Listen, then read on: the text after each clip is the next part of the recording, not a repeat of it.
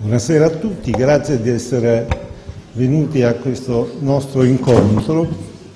Io sono l'editore di questo libro e, e ho volentieri assunto il, il compito di eh, coordinare la discussione di questa sera. Eh, mi limiterò a fare una brevissima introduzione in cui cercherò di spiegare dal mio punto di vista di editore i motivi che mi hanno spinto a concepire e anche eh, sollecitare eh, la realizzazione di questo piccolo libro. Ma prima di ogni cosa mi consentirete di adempiere a, uno, a un piacevole compito che è quello di eh, portarvi i saluti del Presidente Zavoli che avrebbe voluto essere con noi, eh, che ci ospita perché eh, questa è un'iniziativa presa nell'ambito delle attività delle iniziative dell'Ufficio Studi del Senato e che purtroppo non può essere con noi per motivi di salute, ma io sono convinto che ci sta pensando e che c'è molto vicino e che avrebbe avuto grande piacere di essere con noi.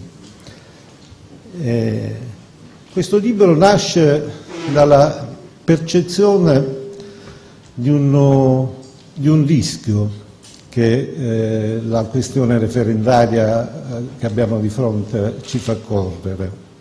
Il rischio di una sproporzione, io nella breve introduzione che ho, che ho scritto per il libro eh, parlo addirittura di una dismisura tra la portata e la complessità dei cambiamenti che la riforma costituzionale eh, disegna e il carattere molto semplificatorio, forzatamente semplificatorio, del quesito che viene posto ai cittadini.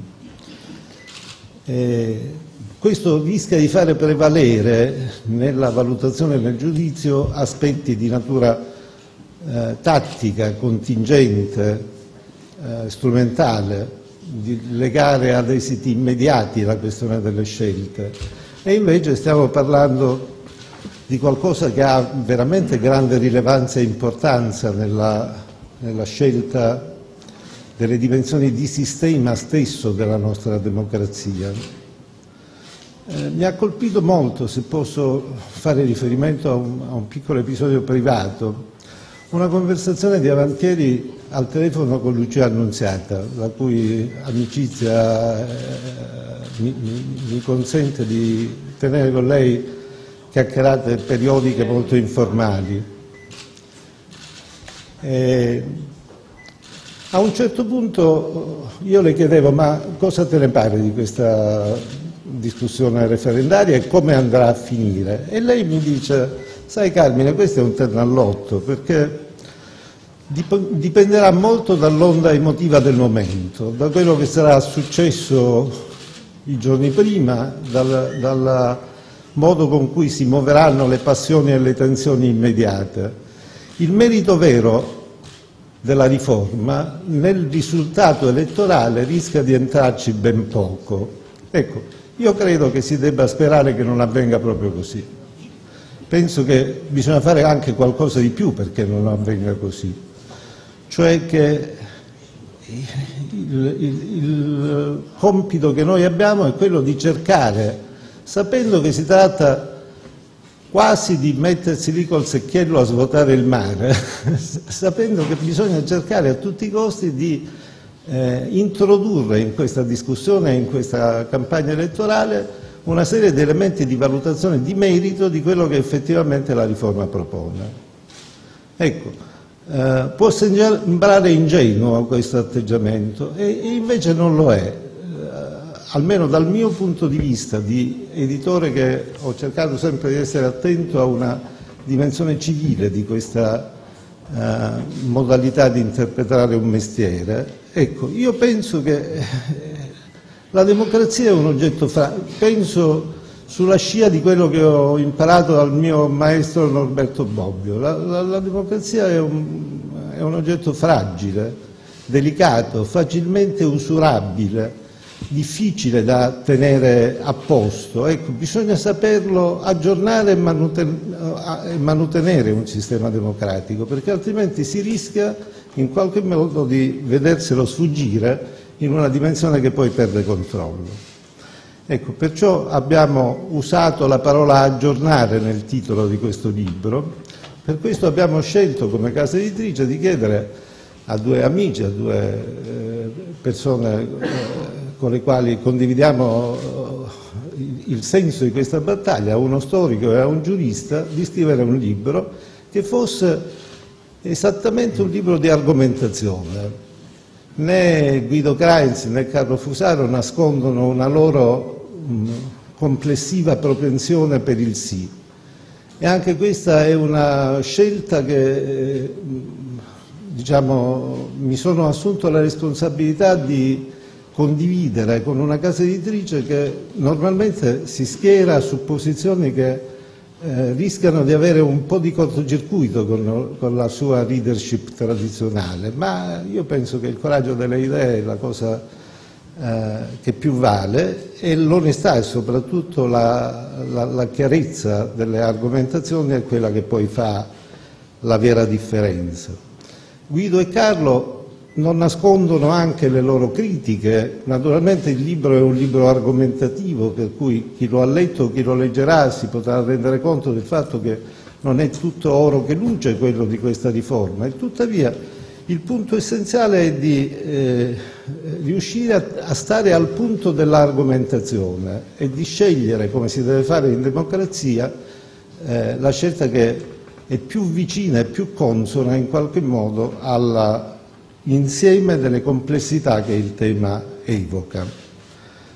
Eh, e io in questo spirito direi che eh, vorrei cogliere l'occasione per ringraziare i tre relatori che partecipano a questa discussione. Vedete, anche qui noi siamo fortunati questa sera perché abbiamo di fronte a noi, forse, non voglio adesso esagerare, ma sicuramente tra queste tre persone sono tra gli assoluti protagonisti della discussione politico-parlamentare che si è sviluppata in questi due anni.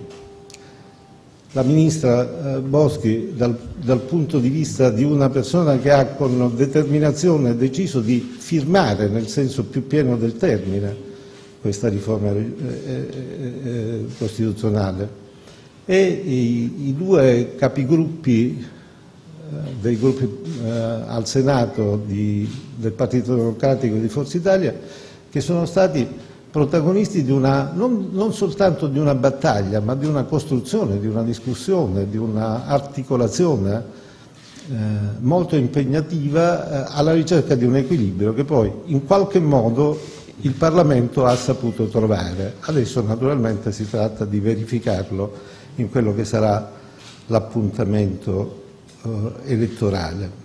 E per questo motivo eh, io penso di dover ringraziare qui eh, loro tre che hanno partecipato. Noi avremmo voluto ancora di più, ancora più larga la partecipazione a questo incontro. Avevamo invitato un esponente dei 5 Stelle, il Presidente De Maio, eh, non gli è stato possibile essere con noi, eh, noi ne prendiamo atto naturalmente, ma lo spirito di questa discussione vorrebbe essere quello non di una contrapposizione frontale e propagandistica, ma di una articolazione effettiva delle posizioni alla ricerca di quelle che possono essere le indicazioni che poi ciascun cittadino elettore potrà per suo conto e consapevolmente valutare. Per questo io proporrei di cominciare con, uh, ponendo sul, sul, tappeto una prima questione che, mi scuserete per l'autoreferenzialità, vorrebbe essere essenzialmente proprio questa. Che cosa ne pensano questi tre eh, relatori eh, che hanno costruito la riforma, elettorale, eh, la riforma costituzionale? Che cosa ne pensano di questo libro?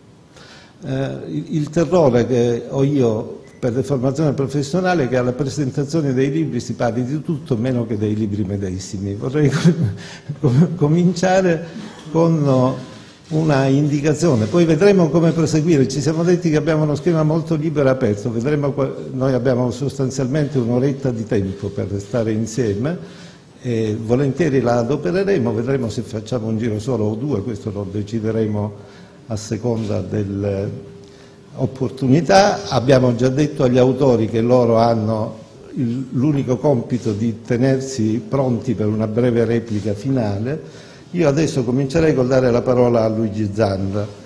Eh, cosa te ne pare di questo libro?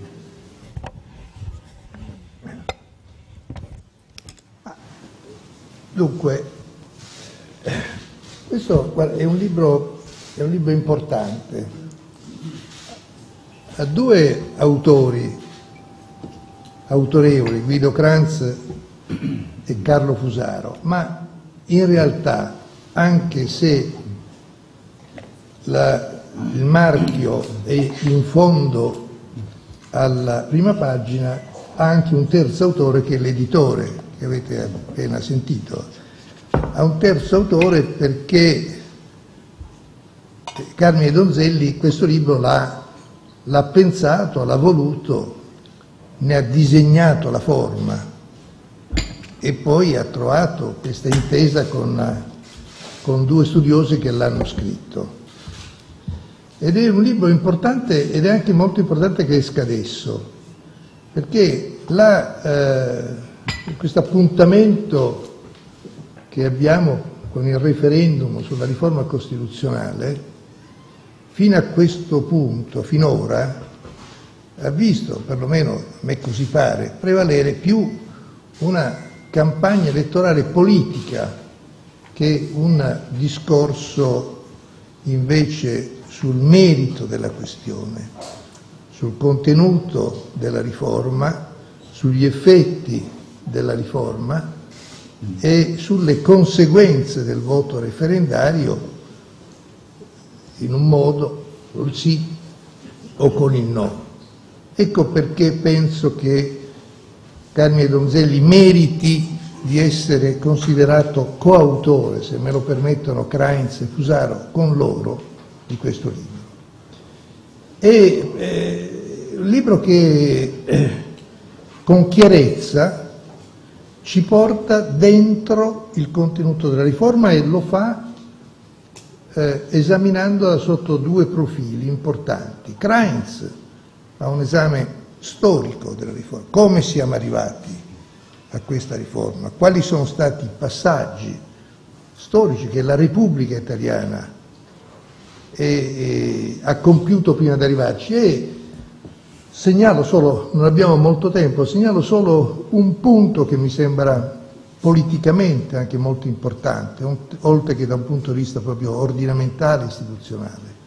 Krainz ci eh, descrive con molta nitidezza che eh, i nostri costituenti, mentre trovarono un completo accordo sulla prima parte della Costituzione, cioè su, sulla eh, messa in norma dei principi fondativi della Repubblica, la parte che noi consideriamo eh, intoccabile, invece ebbero una discussione laboriosa e complessa nello scrivere la seconda parte, cioè la parte che riguarda l'organizzazione dello Stato.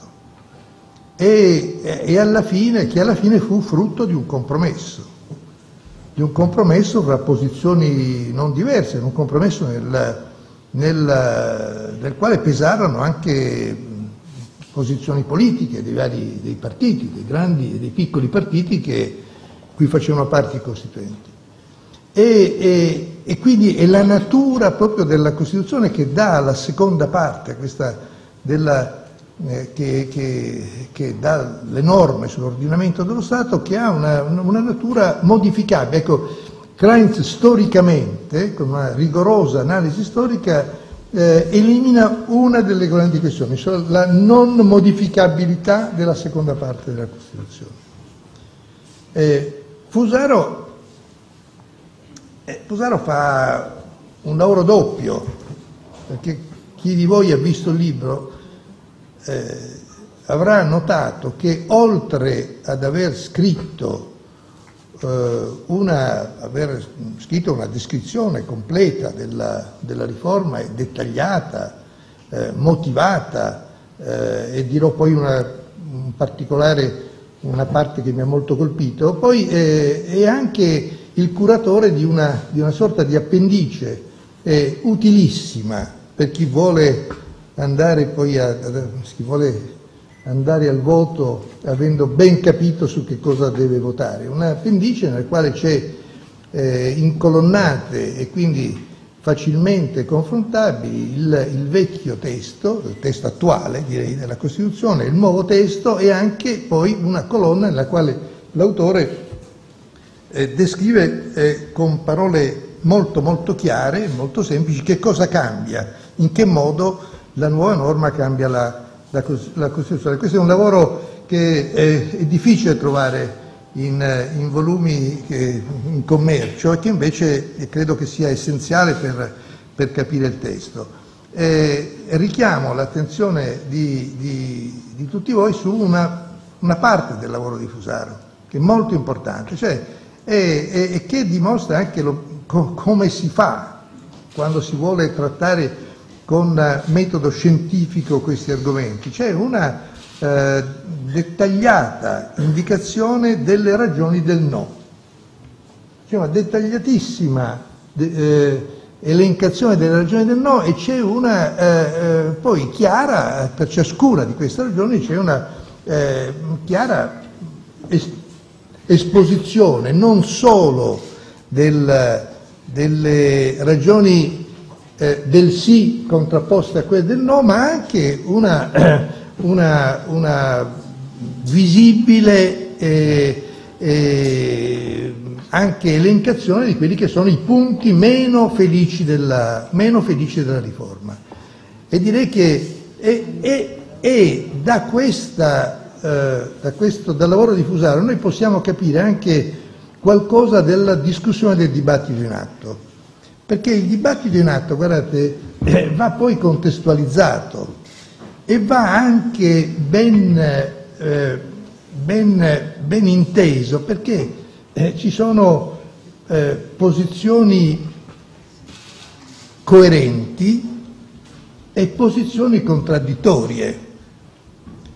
Ci sono posizioni di chi conferma una linea che ha seguito durante, non soltanto durante le discussioni di questa riforma, ma anche, voi sapete che noi abbiamo avuto molti tentativi di modifica della Costituzione, quindi molti degli argomenti su cui il Parlamento ha votato sono stati già trattati. Beh, noi abbiamo una, c'è una parte dei partecipanti al dibattito attuale che durante questo lungo percorso, eh, diciamo così, si è spostata, si è spostata ed ha, ed ha occupato eh, via, via, via posizioni diverse. Ecco, dal, eh, dal lavoro di Fusaro si comprende molto bene questa, eh, si comprende molto bene anche l'iter delle idee, insomma il viaggio delle idee, come le idee hanno viaggiato e si comprendono anche le ragioni di contesto che non sono, che non sono eh, indifferenti, quindi contesto, quando parlo di contesto parlo di contesto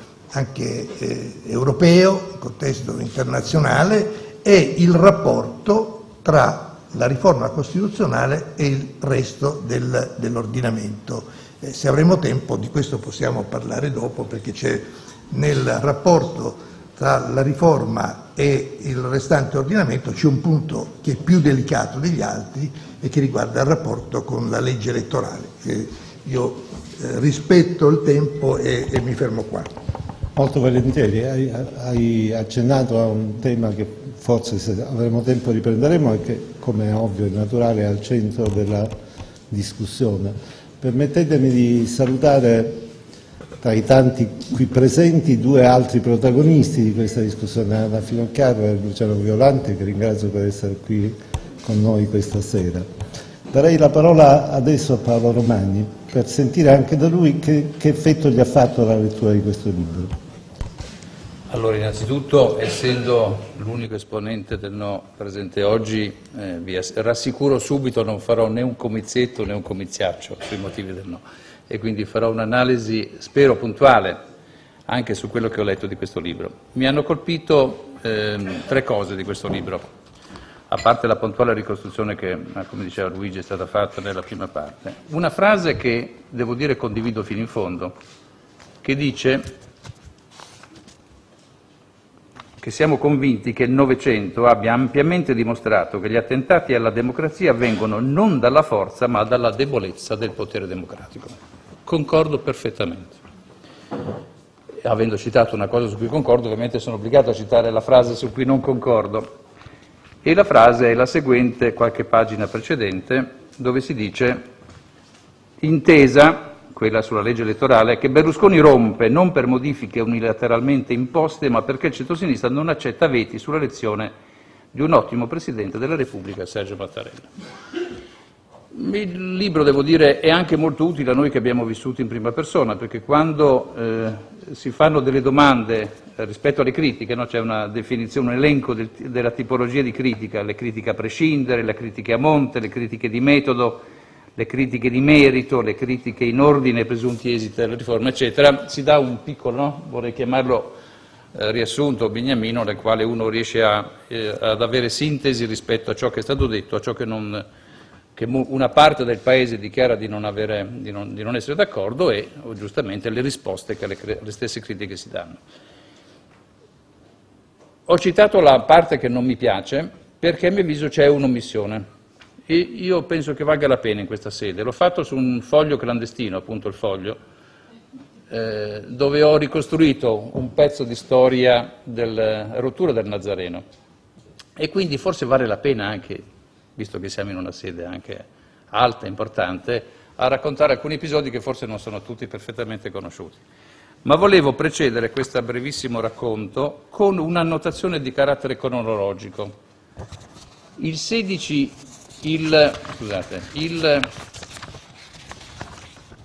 27 novembre del 2013 c'è il voto sulla decadenza di Berlusconi. Il Senato toglie la possibilità al capo dell'opposizione di essere presente al Senato. Il 14 gennaio del 2014 c'è la sentenza sul Porcellum, sentenza negativa ovviamente.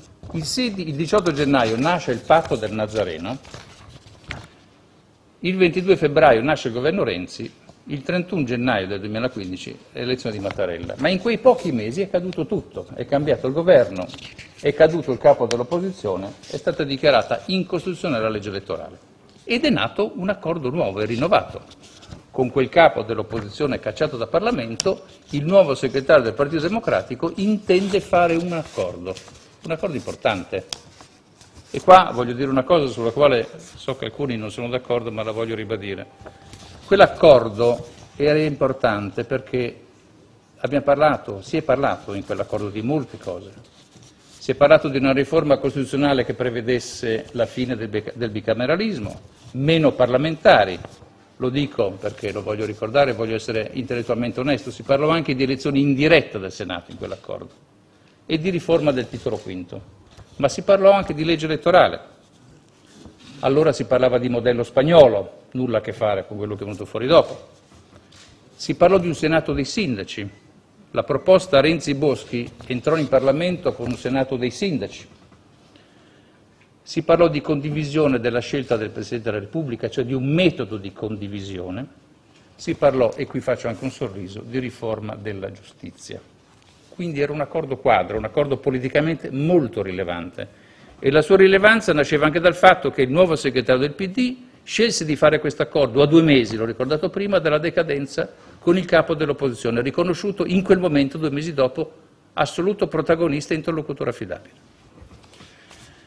Cos'è accaduto dopo? Io rivendico di avere partecipato a quel periodo di riforma costituente, perché rivendico il fatto che Forza Italia nell'agosto del 95, primi giorni di agosto, Berlusconi alla Camera fece un forte, importante intervento sulla necessità di riforme costituzionali. E più o meno i concetti erano quelli che ho espresso in questo patto che ho appena ricordato. Poi si aggiunse il lavoro, e devo dare atto in questa sede al Ministro Boschi della sua grande disponibilità. Il Senato dei Sindaci non, più, non fu più un Senato dei Sindaci, divenne un Senato delle Regioni, poi potremmo dire tutto il male possibile delle Regioni, ma divenne un Senato delle autonomie con una rappresentanza proporzionale in base alla popolazione che teneva conto della formazione e del voto espresso nei consigli regionali e anche dei premi di maggioranza, con 21 sindaci certamente, uno per ogni regione. Fu una lunga discussione. E l'8 di agosto del 2014 rivendicai in aula, a buon diritto, il fatto che si stesse facendo una buona riforma.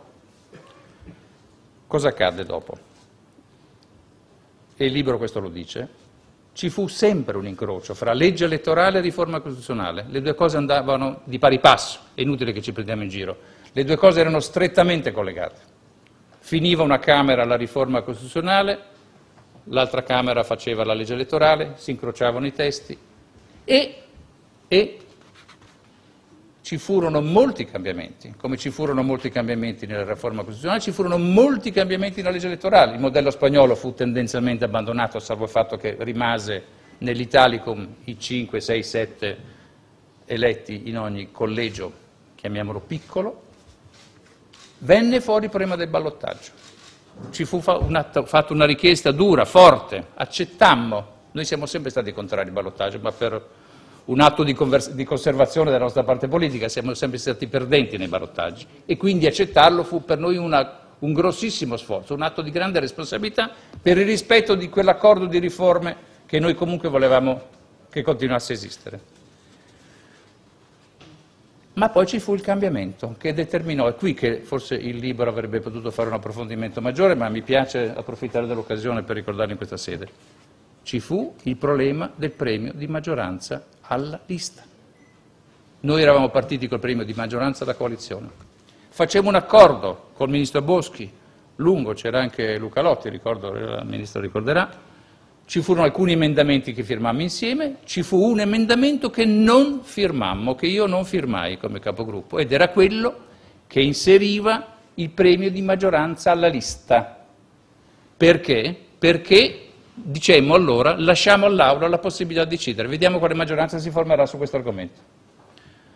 Luigi Zanda, io ero a casa che leggevo i miei libri o guardavo la partita, alle 5 del pomeriggio mi chiama Luigi e col suo garbo, con la sua buona educazione, dice ciao Paolina come stai? E mi fa, ma hai presente che c'è, sai cos'è l'emendamento esposito? Ma dico sì, so cos'è l'emendamento esposito. Perché me lo chiedi, perdonami? Non mi preoccupa il fatto che io lo conosco meno, mi preoccupa il fatto che tu domenica pomeriggio mi chiami e mi chieda se io so che cosa sia. Eh, dice forse avremo un problema, infatti il problema c'era. Il giorno dopo, non dico con chi e non dico neanche dove, ci fu una lunghissima riunione in cui ci fu chiesto di ottemperare alla richiesta perentoria del Presidente del Consiglio rispetto al cambiamento del nostro atteggiamento che avevamo lasciato all'Aula ma dovevamo accettare il fatto che anche noi si votasse il premio di maggioranza alla lista. Voi sapete che il centrodestra è combinato in maniera tale per cui un premio di maggioranza alla lista ci pone dei problemi giganteschi. Lo uno, lo dice uno che tendenzialmente ha sempre cercato di privilegiare il centro del centrodestra in un rapporto organico con Lega e Fratelli d'Italia, ma rivendicando alla mia parte politica che il centro dovesse avere una sua vitalità e una sua dignità politica. Purtuttavia, Pur tuttavia, con un enorme sforzo, furono minuti duri, complicati, e si intrecciava, ecco perché l'ho ricordato, si intrecciava il ragionamento della condivisione del metodo della scelta del Presidente della Repubblica. E noi, siccome ritenevamo importante che fosse garantito questo metodo e questa condivisione concordata, non sul nome, sul metodo, ritenevamo che si dovesse e ci dovessimo sacrificare ancora una volta sull'altare dell'accordo del Nazareno perché si voleva rispettare fino in fondo quel punto. Quello che è successo lo sapete, quindi è inutile che lo ricordi. Lì è incominciato il problema e lì ci siamo separati. Io penso che il tempo sia molto cambiato da allora. Allora noi parlavamo fra due forze, due coalizioni di centrodestra e di centrosinistra che ritenevano di essere alternative l'una all'altra, che potevano trovare un percorso comune di riforma della Costituzione e anche della legge elettorale e di altro, ma ritenevamo che il fenomeno del voto di protesta andasse a scemare e invece non è accaduto così. Siamo in un sistema perfettamente tripolare. Allora io dico che quella rinuncia, quell'accettazione, ho quasi finito editore, che noi facciamo sul ballottaggio sia oggi un problema. Allora io mi chiedo, l'ho ricordato prima, la riforma costituzionale doveva garantire l'efficienza, la legge elettorale doveva garantire la governabilità. Si coniugavano i due concetti, perché l'Italia sarebbe stata governata. Renzi dice sempre, la sera gli italiani vogliono sapere chi governa. Io gli ho tendenzialmente dato ragione, perché quella citazione iniziale che ho fatto prima, che mi conserva la, la fiducia in quello che dice. Per oggi non è più così. E allora mi faccio delle domande. La governabilità. Abbiamo un esempio belga e un esempio spagnolo dove i governi non ci sono e vanno da Dio questi due paesi. Pare che non abbiano bisogno di un governo. Ovviamente è una battuta, però quello che accade statisticamente. C'è un paese della Germania dove nessuno si ricorda che c'è una grande coalizione, nessuno se lo ricorda. Hanno fatto un programma, sono tedeschi, 294 pagine, si è mai sentito una mosca volare di dissintonia all'interno della maggioranza? Io non ho mai percepito nulla di diverso fra i due grandi partiti che storicamente hanno governato quel paese. E c'è poi chi decide che ci deve essere un governo espresso con un forte premio di maggioranza in un circuito monocamerale di fiducia al governo stesso. E ho paura che oggi, paura che oggi un 25% al primo turno, speriamo che non vada a votare solo il 50%, ma c'è anche questa possibilità, quindi un partito del 12,5% della, del potenziale reale di questo Paese vinca il ballottaggio e si porti a casa il 55% dell'unica Camera. Io intravedo, non voglio dire un pericolo della democrazia come direbbe il mio amico Renato Brunetta, ma dico vedo un problema, perché ho paura che su questo argomento noi dovremmo confrontarci di nuovo. E il combinato disposto, legge elettorale, riforma costituzionale, riforma della RAI, quindi della più grande macchina del consenso che c'è ancora in questo Paese, grazie agli ascolti che oggi ha e che per qualche anno presumibilmente continuerà ad avere, ho l'impressione che ci sia un pericolo che noi dobbiamo affrontare. Ho finito e concludo dicendo, sento che oggi il Presidente del Consiglio Renzi si dichiara disponibile, ma l'ha detto anche in un'intervista alla stampa il Ministro Boschi ieri, mi sembra, c'è un atteggiamento di disponibilità a riaffrontare il problema della legge elettorale. Io non posso, e il libro tutto sommato lo conferma, tenere scollegate le due cose. L'una viaggia con l'altra, è difficile scinderle. Ma, ma, e questo è il dato veramente negativo, ingessare il Paese su un dibattito di questo tipo, che non è sempre come lo stiamo facendo oggi, ma che sta ingessando il sistema politico e qualsiasi soluzione, forse anche legge di stabilità, fino a un 5, di, un 5 dicembre mi sembra un atto di irresponsabilità, perché tanto fino a quel momento non sarà possibile modificare la legge elettorale. Qualunque cosa decida la consulta il 4 di ottobre, ammesso che il 4 di ottobre accada qualcosa. Grazie a Paolo Romani. Ministro, Ministro Boschi, eh, Facciamo un passo indietro, ripartiamo dal libro, se è possibile. Grazie. Non può, non può. No, no, buonasera a tutti. Diceva il Presidente Zanda, non posso ripartire dal libro. No, cercherò di ripartire dal libro, visto la premessa sulle presentazioni dei libri che devono avere ad oggetto il libro, ma eh, ovviamente il Presidente Romani ha offerto anche degli spunti interessanti, riportandoli un po' ai retroscena politici, diciamo così, e anche all'attualità. Quindi chiaramente poi vorrò dire qualcosa anche su, sugli spunti che ci ha offerto il Presidente Romani, anche perché eh, chiaramente i punti di vista non coincidono sulla lettura di tanti fatti e di tanti avvenimenti che ci hanno visto protagonisti, insieme ovviamente ad altri colleghi, perché eh, giustamente il Presidente Romani ricordava anche una riunione con il sottosegretario Lotti, ma c'era il Presidente Zanda, il Presidente Finocchiaro, insomma erano vari soggetti presenti quindi che, che hanno partecipato a quella discussione sulla legge elettorale. Però tornando diciamo, in partenza al libro, e, e mi fa molto piacere parlare del libro in realtà anche con voi, io credo effettivamente che sia uno strumento molto utile per chiunque voglia informarsi in vista appunto del, del, voto che poi chiamerà tutti i cittadini. Io mi auguro un numero molto alto di cittadini a decidere sulla riforma costituzionale con il referendum, è uno strumento importante per informarsi e per essere più consapevoli di quello che andremo a fare, di quello che andremo a decidere con il referendum.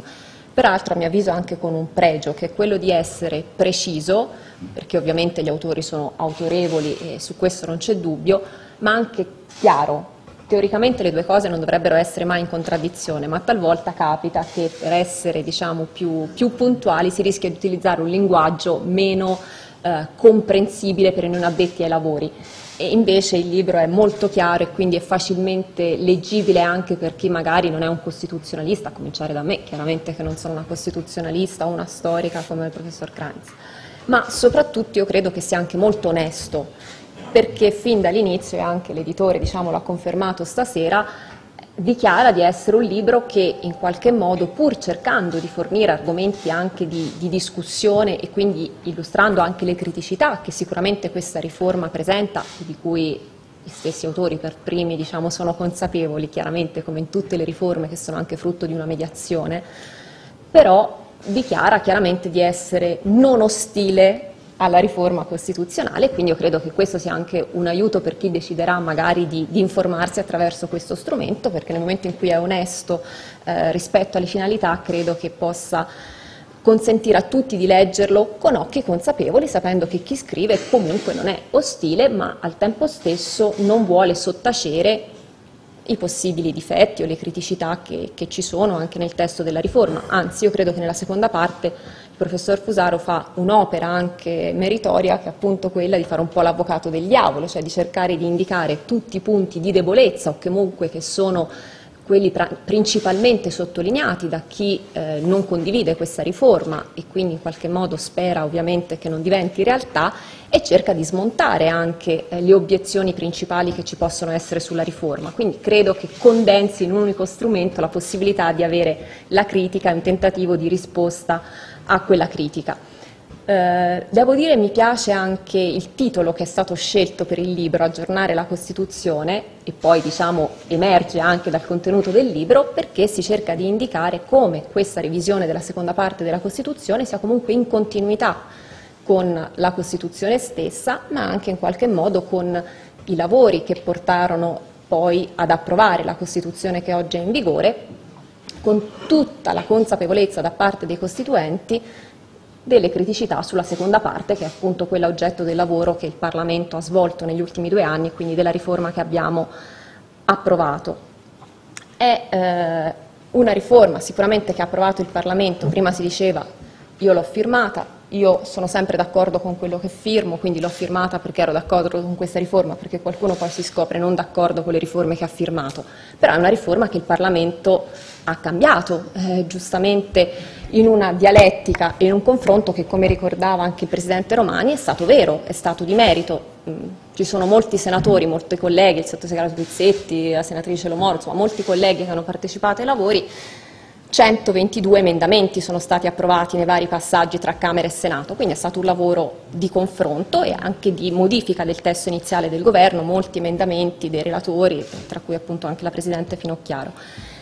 La parte, e, e, non mi soffermo sui contenuti della riforma perché non vorrei che poi venisse visto come un tentativo diciamo, di, di, affermare eh, la bontà delle riforme, perché anch'io penso sappiate tutti sono dichiaratamente per il sì, quindi diciamo che qualsiasi intervento sul merito eh, della riforma potrebbe sembrare eh, appunto lontano dal, dal, libro, ma sulla prima parte, quella più di ricostruzione storica anche del clima, in cui poi venne, vennero fatte certe scelte sulla seconda parte della Costituzione, quindi sull'organizzazione dello Stato, credo che sia molto apprezzabile nel, nel, lavoro anche il tentativo di ricostruire davvero il clima politico di quei giorni, sapendo che effettivamente i costituenti, le costituenti seppero mettere da parte anche alcune divisioni su temi veramente importanti per scrivere insieme la prima parte della Costituzione sui principi fondamentali, sui diritti, sui doveri, il clima politico però non era diciamo, del tutto eh, sereno nemmeno allora nelle scelte che poi portarono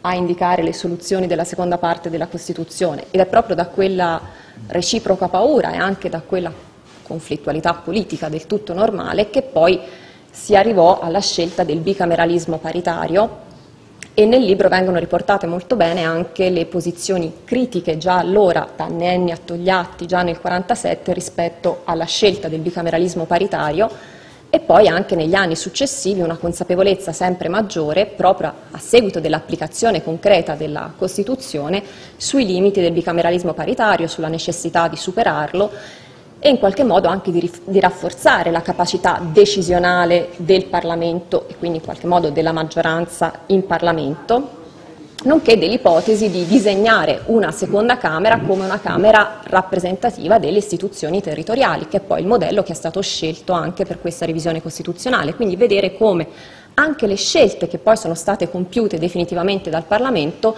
non siano estemporanee, ma si inseriscano comunque in un dibattito scientifico, politico, ma anche nella società civile che si è protratto negli anni. Ferma è, eh, diciamo, ferma è la prova innanzitutto che dalla tredicesima legislatura ad oggi ci sono circa 36 disegni di legge, mi pare, di iniziativa governativa per modificare la Costituzione in vari punti, i vari tentativi che tutti ricordiamo negli anni, ma anche eh, un punto che accomuna più o meno tutti in questa fase di dibattito, anche coloro che sostengono il no a questa riforma, perché anche chi sostiene il no a questa riforma in gran parte dice perché ne vuole un'altra. Poi non è ben chiarito quale sia l'altra riforma che vuole e soprattutto la condivisione tra i diversi eh, oppositori a questa riforma su una soluzione alternativa, ma tutti propongono comunque di rivedere la Costituzione, quindi c'è questo dato di fatto che sembra essere abbastanza eh, condiviso.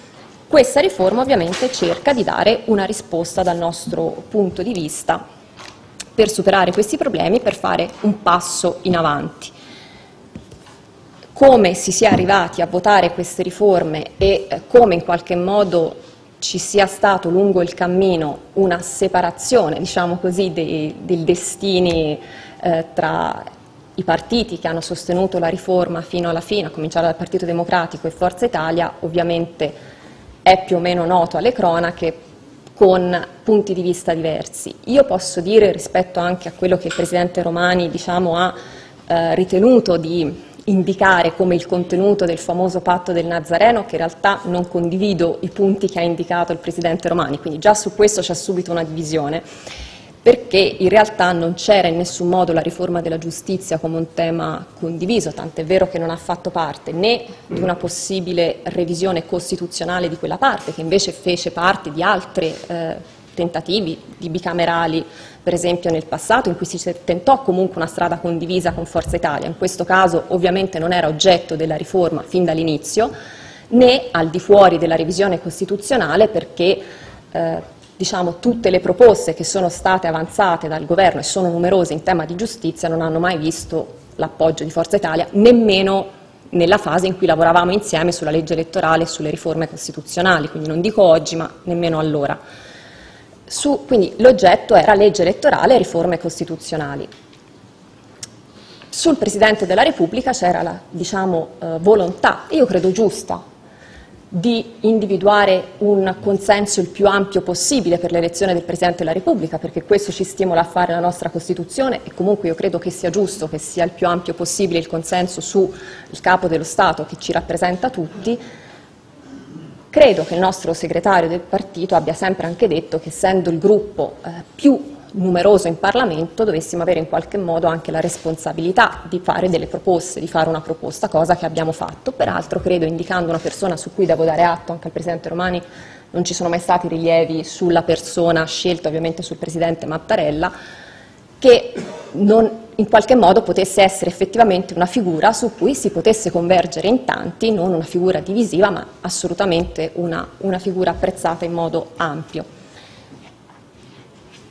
Quindi non credo ecco, che ci sia stata una rottura da parte nostra dell'accordo. Se la devo leggere dal mio punto di vista, credo che ci sia stata da parte di Forza Italia in quella fase un tentativo invece di indicare il nome partendo da una proposta di Forza Italia, perché vi ricorderete che a prescindere dal nome indicato non è una valutazione sul nome, rimaniamo sul metodo, eh, non poteva essere Forza Italia a indicare il nome. Questo è stato l'elemento diciamo, che ci ha diviso concretamente sulla scelta del Presidente della Repubblica. Ripeto, fermo restando eh, la stima per le persone coinvolte, ma era una questione di metodo, di rapporti politici.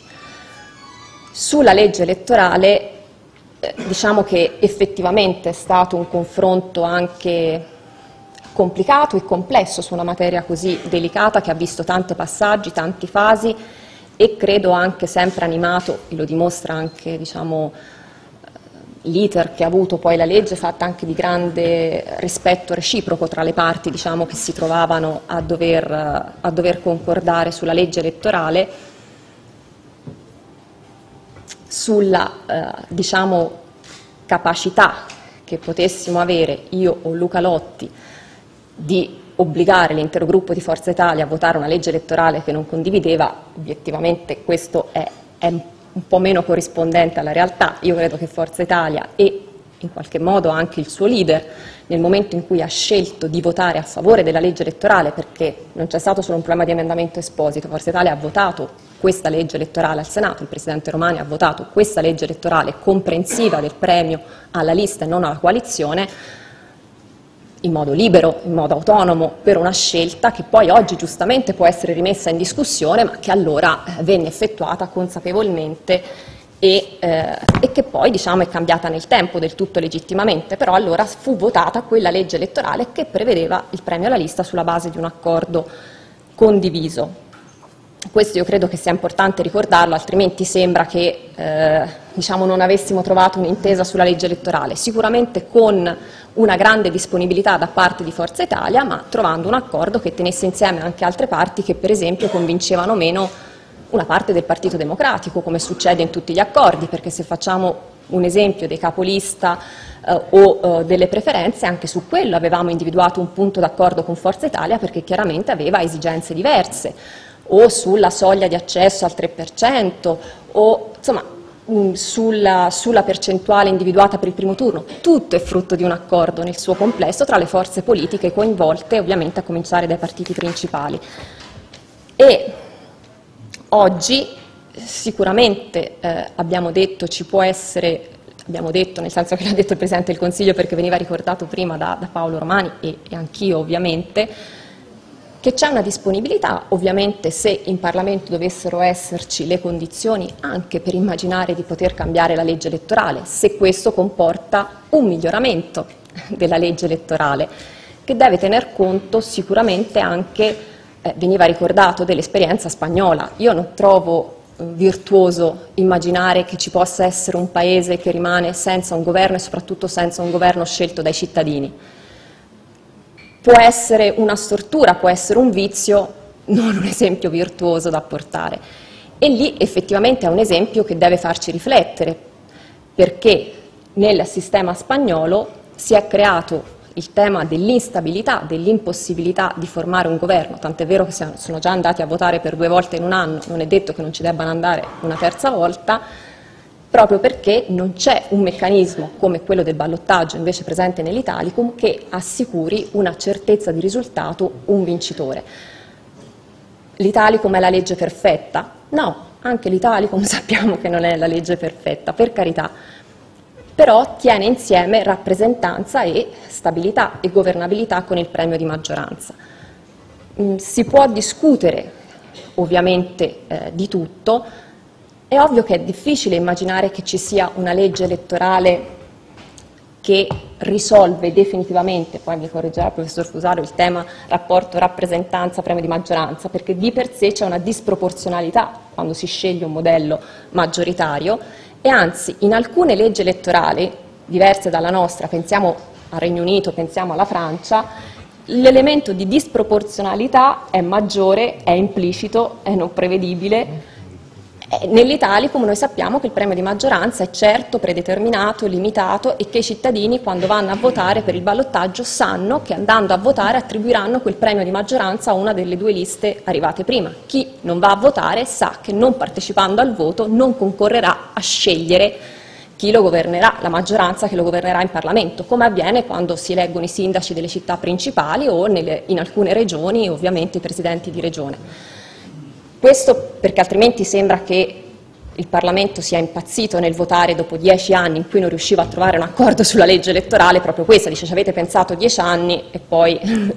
Quindi dobbiamo anche partire dal presupposto che è una legge che funziona. Se poi la vogliamo cambiare perché abbiamo un modello alternativo migliore, che quindi ci aiuta ad andare verso un sistema migliore, e ci sono i numeri perché possa essere approvato in Parlamento, perché ovviamente giustamente la democrazia richiede che ci siano i numeri, Ovviamente questo è sempre nella disponibilità del Parlamento, non c'è nessuna chiusura, però attenti a soppesare bene i vantaggi e gli svantaggi di possibili modelli alternativi. Grazie, Grazie eh, non so, noi abbiamo adesso una ventina di minuti, io proporrei di fare un brevissimo, forse secondo giro anche in relazione al modo con cui si è sviluppata fin qui la discussione, credo che Luigi Zanda per esempio abbia voglia di aggiungere qualcosa al, considerazioni, eh, trattino rivelazioni del Presidente Romani. Eh... No, non, eh, non, tanto sulle relazioni, però insomma, se noi parliamo di riforme dobbiamo partire dalla, da considerazioni molto pragmatiche, politicamente pragmatiche sulla, su, sugli obiettivi. L'Italia, che l'Italia avesse bisogno di una riforma costituzionale lo diciamo da vent'anni e l'hanno detto tutte le forze politiche.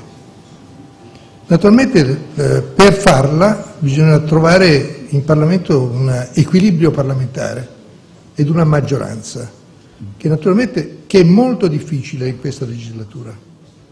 E questa è una legislatura che va considerata per, per com'è, per come com è nata e soprattutto al Senato maggioranze non sono facili, perché i voti sono quelli che sono. E il fair play parlamentare non è detto che sempre aiuti a trovare delle buone soluzioni. E Paolo Romani ha ricordato una mia telefonata una domenica pomeriggio. Beh, tanto io voglio dire, voglio dire, no, io me la ricordo benissimo naturalmente, ma voglio dire intanto che quella telefonata faceva parte di un metodo che io rivendico e che, che penso che debba sempre essere tenuto presente in Parlamento. Cioè sulle grandi riforme, sulle leggi importanti bisogna cercare sempre grandi maggioranze quanto più larghe possibile e non bisogna far tirare, tirarsi colpi bassi l'uno con l'altro. Quindi io pensavo, ho pensato che fosse necessario avvisare il maggior partito di opposizione di che cosa quali erano le, le nostre intenzioni. Ma perché il famoso emendamento esposito?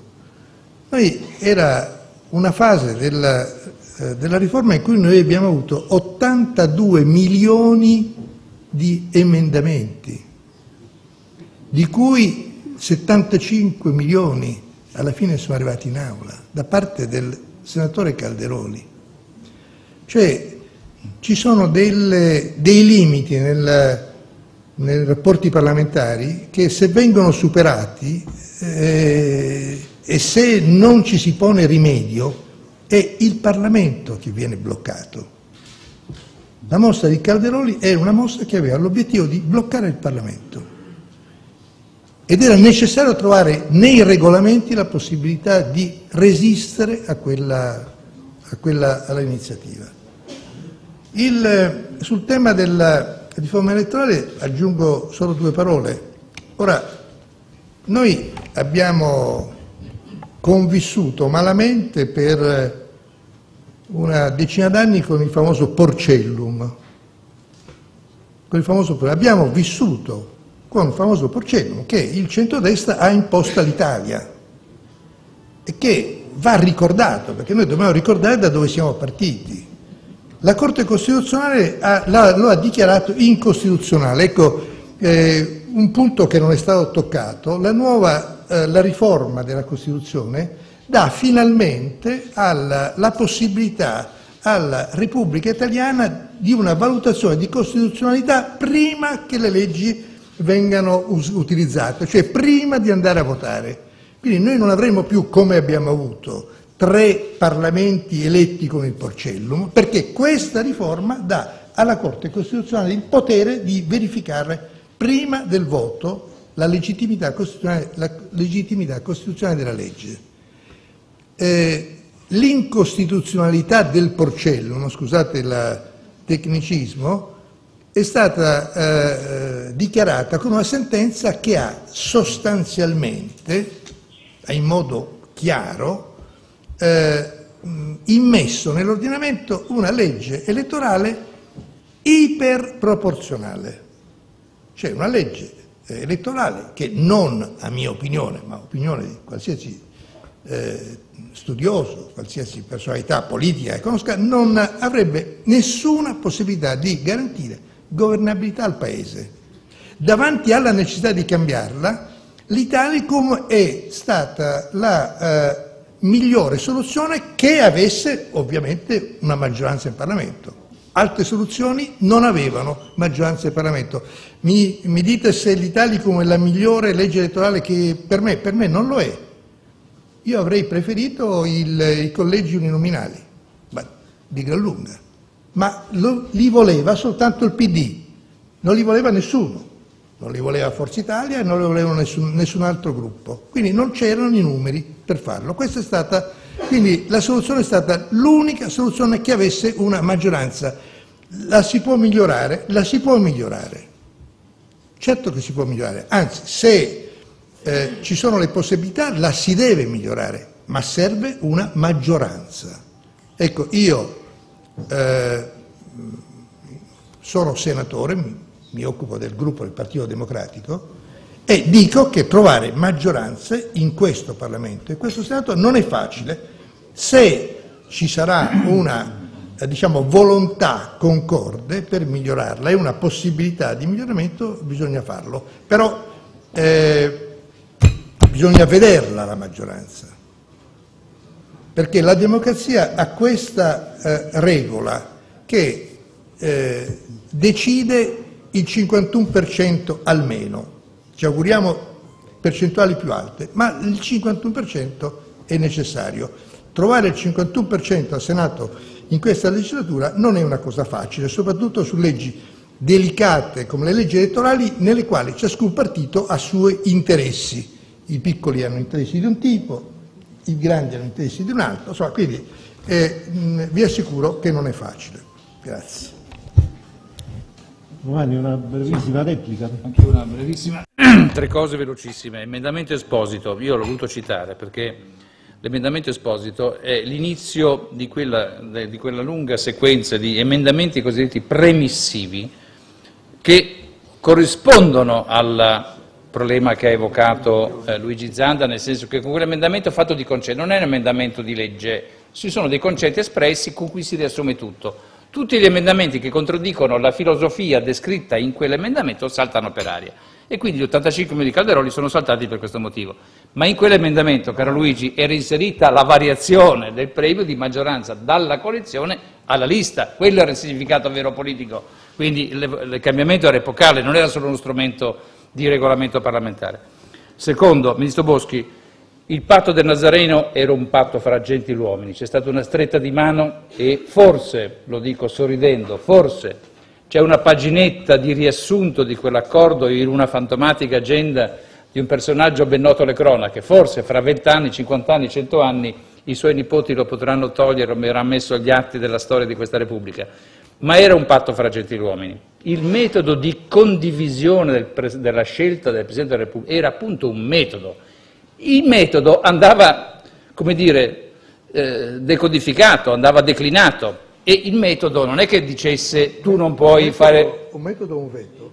Un metodo, poteva prevedere anche i veti, ma era innanzitutto un metodo. Ma il metodo non escludeva il fatto che qualcuno facesse un nome e qualcun altro ne facesse un altro. Ognuno probabilmente avrebbe fatto i suoi nomi, ma il problema era di capire se questo metodo potesse funzionare o meno. A nostro avviso non ha funzionato il metodo, quindi noi non ci siamo mai accaniti sul fatto che la scelta finale sia andata alla persona rispettabilissima che si chiama il Presidente eh, Sergio Mattarella. Il problema era che in quella sede qualcuno dice avete fatto un nome, volevate che lo, lo, lo facessimo nostro, voi avete fatto... Cioè, no, non è stato rispettato una stretta di mano rispetto alla scelta di un metodo che forse non è stato definito o che non si è avuto l'accuratezza di definire. Finisco dicendo, non voglio essere, frainteso visto che non ho fatto il comiziaccio iniziale, noi non siamo disponibili a modificare la legge elettorale finché non si fa il referendum. Si faccia questo benedetto referendum, lo si faccia il più presto possibile, non riusciamo a capire perché si deve aspettare il 5 di dicembre, io penso che la lunghissima campagna elettorale che c'è già stata, addirittura anche agostana, c'è qualcuno che è andato in giro per le spiagge, il ministro Boschi è già affaticata, e, non è affaticata, è riposatissima, fa un comizio, fa una, un accadimento al, gio al giorno, l'aspettano tre mesi, perché settembre, ottobre, novembre, se si vota il 5 dicembre, quindi saranno fatti cosissimi, e mi spiace per lei, ma mi spiace anche per tutti coloro che ne sarebbero coinvolti e travolti, e mi auguro che il Presidente del Consiglio, avendo questa possibilità, sia saggio e anticipi la data del referendum. No, semplicemente per chiarire che non è stata fissata la data del referendum, quindi io non so come mai ritorni il 5 dicembre, ma non è stata fissata la data del referendum.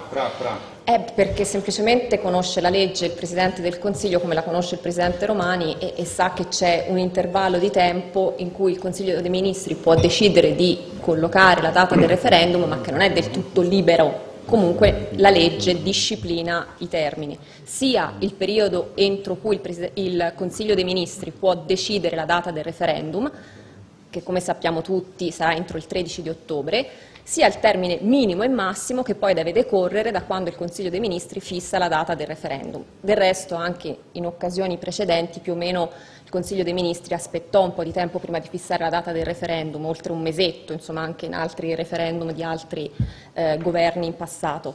Quindi siamo nella normalità dei casi, tanto più che tutti comprensibilmente a rientro diciamo, a fine agosto da, dalla pausa di Ferragosto siamo stati presi giustamente da altre priorità che c'erano nel Paese e quindi eh, non è stato questo al rientro, il Consiglio dei Ministri è stato dedicato ad altro.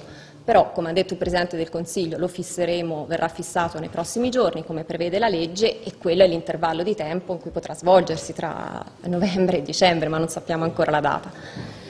Ovviamente eh, credo che il tempo che abbiamo di fronte a noi possa essere molto utile invece a tutti, anche a coloro che non, non condividono questa riforma, a spiegare le, le, ragioni per le quali non condividono questa riforma, così come per chi invece è a favore di questa revisione costituzionale. Quindi avere di fronte qualche settimana per poterci confrontare nel merito mh, in modo rispettoso, come abbiamo fatto anche stasera, delle, delle reciproche posizioni, credo che possa aiutare i cittadini a fare una scelta più informata e più consapevole, anche perché abbiamo passato la prima parte diciamo, dell'inizio di questa campagna referendaria a sentirci dire che giustamente dovevamo parlare di merito, che dovevamo stare sul contenuto della riforma, che non dovevamo personalizzare, che quindi occorreva informare i cittadini, lo stiamo facendo tutti e credo che sia utile avere tempo a disposizione per farlo in modo tale che ciascuno faccia la, la, propria, la propria scelta.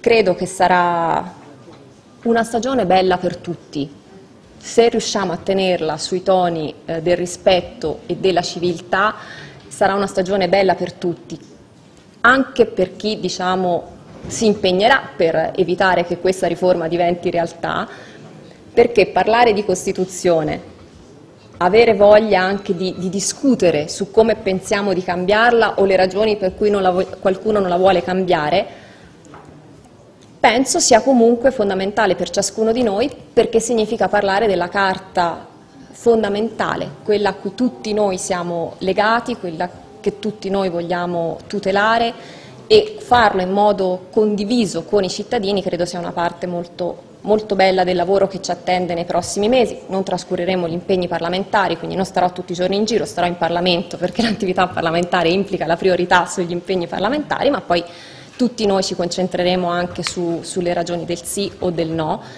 ed è, questo sì, se posso permettermi un punto di forza anche di questa riforma, quella che la parola finale spetti ai cittadini. La Costituzione eh, lo prevede, ovviamente i cittadini hanno raccolto le firme per promuovere il referendum, quindi è la Costituzione che ci dà questo strumento non avendo i due terzi in Parlamento, ma è un'occasione straordinaria per fare un percorso comunque condiviso.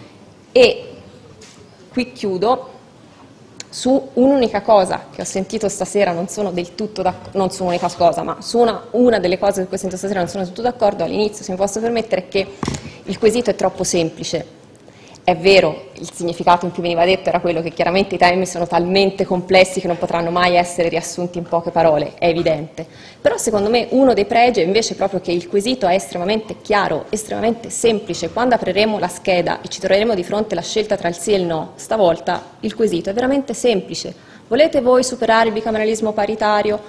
Volete voi ridurre il numero dei parlamentari? Volete voi ridurre i costi della politica? Volete voi abolire le province, abolire il CNEL, rivedere il titolo quinto? Sì o no? Chiaro. Quindi da questo punto di vista credo che sia un elemento di maggiore facilitazione e semplicità per tutti noi. Grazie alla Ministra Boschi, grazie ai tre relatori. Adesso brevemente sentiamo che effetto hanno fatto tutte queste riflessioni così interessanti e anche non completamente omogenee ai due autori del libro. Guido. Io voglio dire rapidamente, insomma, per la parte che mi riguarda, insomma, eh, voglio dire subito, riprendendo una cosa di Zanda, che questo non è un libro anche di Carmine Donzelli, questo è un libro molto di Carmine Donzelli, nel senso io stesso, che questo è il decimo libro che faccio con lui, quindi è una consuetudine di molti anni, ho resistito molto, come lui potrebbe dire, per molte ragioni. Un po' gli dicevo ma che ti serve uno... ero favorevole che si facesse il libro ma non che ci fosse la parte storica, loro che lo facessi anch'io diciamo. E dicevo in fondo non si vota su De Gasperi, cosa ti serve una cosa storica e soprattutto confesso che mi eh, respingeva il clima brutto che eh, si respira, diciamo, di deformazioni, di polemica astiosa, eh, molte argomentazioni urlate di chi era contro la riforma, non avevo voglia di mettermi. Poi è, questa, è, è, proprio questa cosa invece che alla fine mi ha convinto. E mi ha convinto eh, capire insomma, quanto fosse, fossero sottovalutate alcune cose di fondo. Intanto una uh, cosa assolutamente inaccettabile la confusione che viene fatta da una parte del no, non è stata fatta assolutamente qui, fra la prima e la seconda parte della Costituzione, e poi la sottovalutazione del clima del clima del 46 e del 47 in cui quella Costituzione fu fatta. Badate, non solo una sottovalutazione di, di chi non sa la storia, eccetera, no? ma noi ci, in qualche modo io stesso avevo eh, un po' sedimentato l'idea che noi abbiamo non abbiamo un esecutivo forte, eccetera, perché c'era stata l'esperienza del fascismo. Ma molto di più ha pesato la paura del comunismo, l'incertezza del voto, perché noi abbiamo presente il voto del 18 aprile del 48 ma il 2 giugno i voti delle sinistre superano quelli della DC. I voti successivi nelle amministrazioni, la DC non è che recupera, nelle amministrative del novembre 1946, crolla. Quando si scrive la Costituzione, la certezza di tutti è che vincono le sinistre. E di qui appunto questo tipo di struttura della Costituzione. E da questo punto di vista, appunto il tempo è brevissimo, poi vorrei lasciare anche un minuto dei miei a Fusaro che parla più nel merito, eh, la, il modo come si arriva, si vota questa seconda parte della Costituzione è un romanzo con molti colpi di scena e un finale a sorpresa, perché il Senato fotocopia non era assolutamente nella testa di nessuno.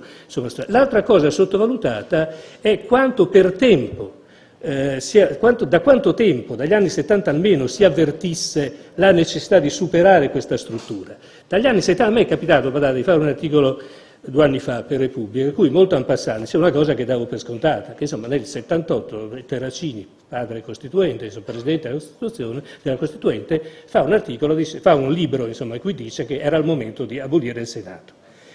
Lo dicevo en passant perché lo davo per scontato e mi irritai un po', confesso, quando Repubblica lo mise, giornale lo mise in titolo. No, diceva insomma adesso è una cosa marginale. E fu, uno, fu una roba, ricevette un mucchio di sms, di mail, eccetera, di gente per cui questa, di persone, insomma, colte, eh, non sto parlando per cui, la, per cui, questa cosa era eh, sottovalutata. Voglio dire, insomma, faccio questo esempio per dire che dagli anni 70 in poi la necessità di superare è, è, è notissima e diciamo, i superamenti vanno in due direzioni opposte, poi, e poi diciamo, concludo sull'Italicum. Eh, c'è il presidenzialismo di Craxi, per capirci, e l'altra versante, la riflessione sulla crisi della democrazia, l'altro opposto è quella di Ingrao che pensa a, demo, a una democrazia dal basso, democrazia partecipata. Non è un padre eh, di questa riforma né Ingrao né Berlinguer, però sia Ingrao che Berlinguer che Terracini pensavano che la seconda parte della eh, Costituzione andasse a modificare. Non in questo modo, non era nel loro orizzonte certamente. Ecco, per queste sottovalutazioni, alla, per la constatazione insomma, di queste sottovalutazioni, alla fine eh, Carmine mi ha convinto. E mi ha convinto anche quello che per me era il nodo più duro e su cui concludo, e cioè l'Italicum.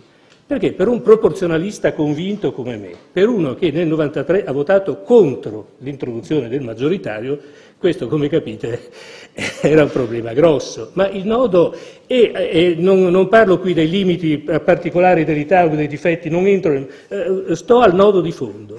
Eh, di a, io non riesco a rispondere a questa domanda, di fronte al nodo dato da tre blocchi totalmente incompatibili. È molto più incompatibile che in Spagna, perché fra Podemos e socialisti non c'è la differenza che c'è fra Grillini e il PD, per fare un esempio. Fra tre blocchi completamente incompatibili.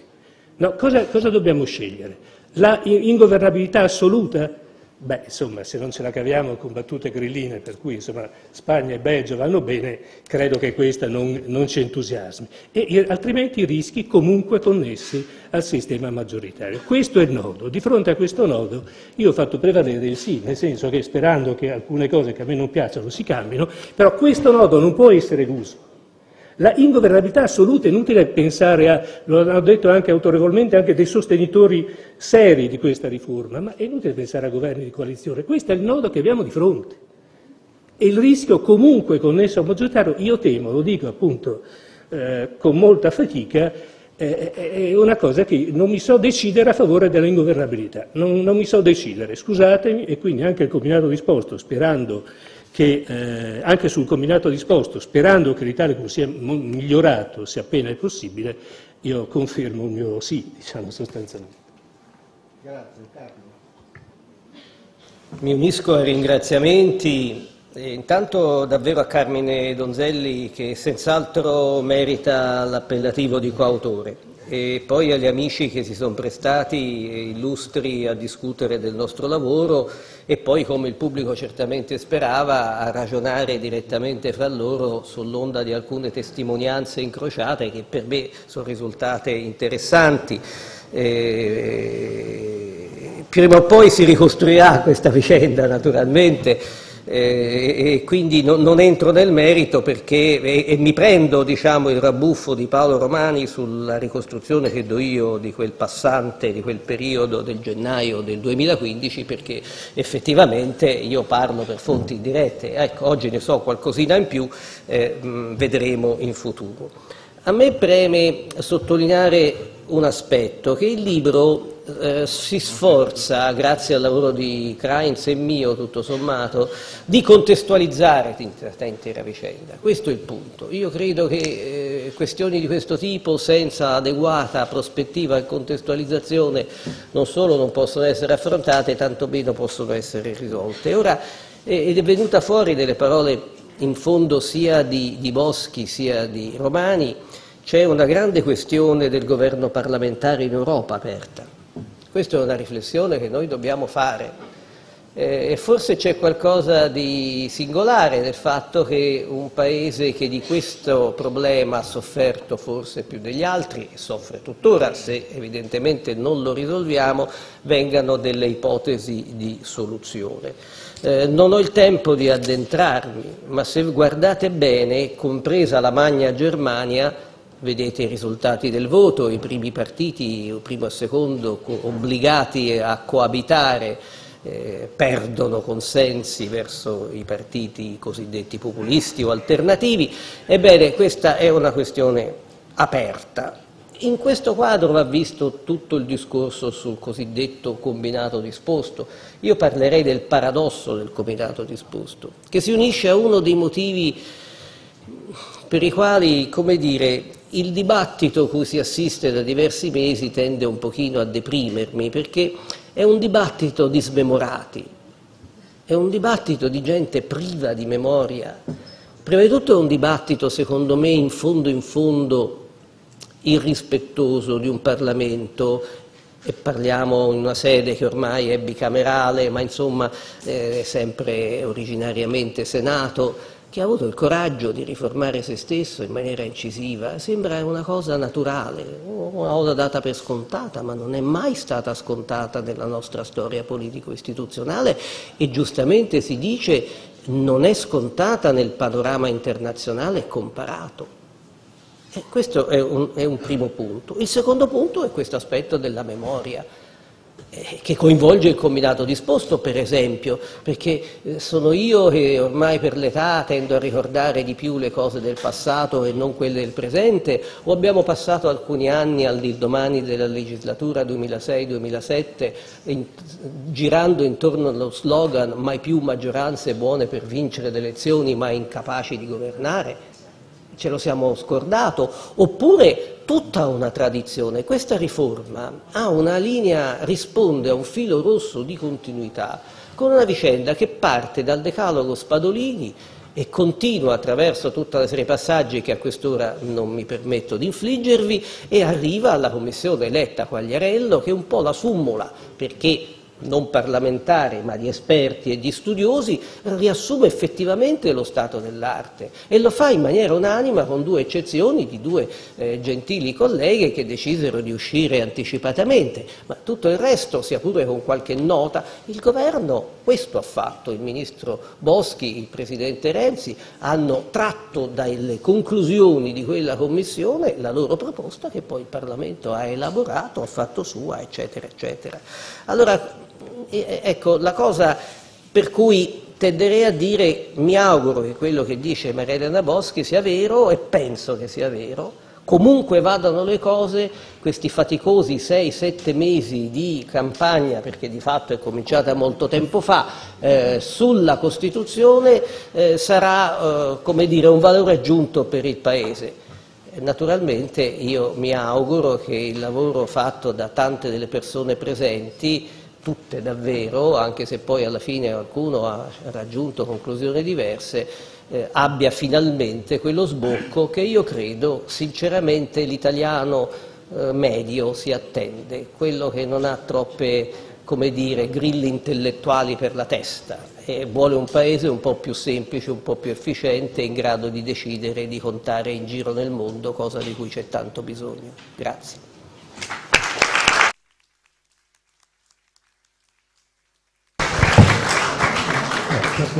Bella, bella, bella discussione, mi pare, discussione civile. Eh, mi ci ritrovo dentro come stile e come modalità.